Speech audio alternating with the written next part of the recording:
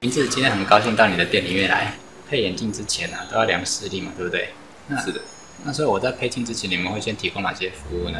啊，基本上每一位验光师都有他一个所谓的视光学的背景，好，通通都有经过就是说，呃，一些专业的训练。嗯哼。可能不是像传统眼镜行，可能都是用所谓的师徒传承。哦。哦。然后呃，一个教一个这样子，可能就是中间会有漏掉。他们到底教的正不正确？也对，也没有。也没人知道这样子，嗯嗯，然后我们的话可能就是说会都会用美色是一个步骤验光方式，一步一步的去啊帮客人把眼睛的问题都可以找出来，啊验的啊是用精准度数让客人戴的更舒适，嗯嗯，好让客人在戴眼镜的部分不再会有一些啊眩光啊鬼影啊，或或者就是说可以看得更加清楚这样子。所以主要是在验光步骤上面，其实你们非常的专业。诶，像我来的时候，我发现这附近大概可能五百公尺之内就有十家以上的眼镜行。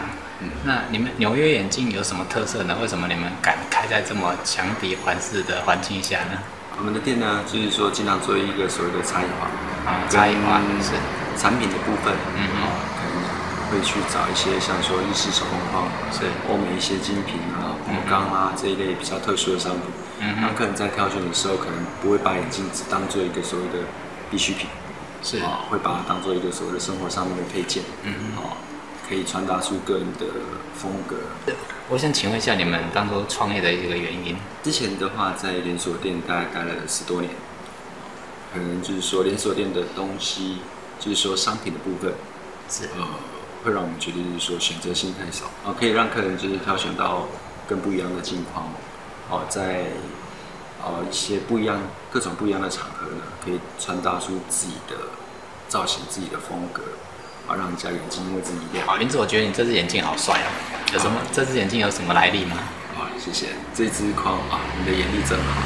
这只框是呃 p o s c h d e s i g n 德国德国保时捷啊设计的。哇，他们的话呢，呃，是有一个专属的设计团队在做他们眼镜设计，而不是委外请人家去设计，请人去生产。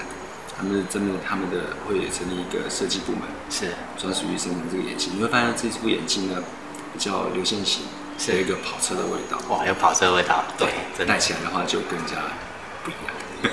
嗯，我现在手上这一副眼镜呢，哦，它是德国埃希伯林的宝钢眼镜。好，造型的是是比较特殊，是用宝钢设计的。除了轻以外，样式也很特别。还有就是说，注意看哦，它的镜面是不是有一个所谓的蓝色反射光？这叫水银度。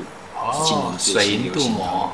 是的是，今年最新流行的。是的，好帅啊！还有好多蛮多款的颜色，好都可以做一个挑选。现在手上这只眼镜呢，哦，它是雷朋的经典款，好美型。它是呃雷朋的经典款，呃是哇帅，对，它是飞行员款式，它现在也是在做所谓的水银镀膜，它现在是绿色的水银镀膜在上面，让大家看呢跟传统的颜色都完全不一样。